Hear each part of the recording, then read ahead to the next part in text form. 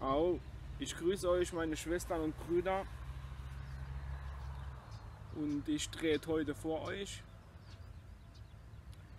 weil ich äh, heute Morgen eine Predigt gehört habe vom Pfarrer Czarnke.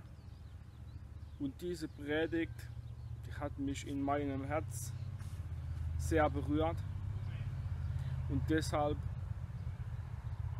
habe ich folgende Bitte an euch. Ich bitte normalerweise selten Menschen um Hilfe oder um irgendwas. In dem Fall bitte ich euch um Hilfe. Teilt dieses Video so oft ihr könnt. Schaut euch das Video an.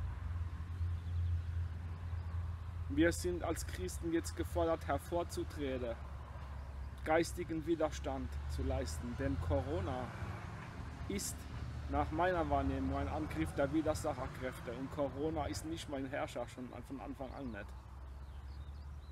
Und an meinen Arsch kommt er nicht ran. Ganz sicher nicht. Denn ich bin ein Diener Gottes. Nur Gott. Vater, Mutter. Und Jesus Christus. In mir und aus mir selbst und durch mich hindurch sind diejenigen, denen ich mein Leben in die Hand gegeben habe.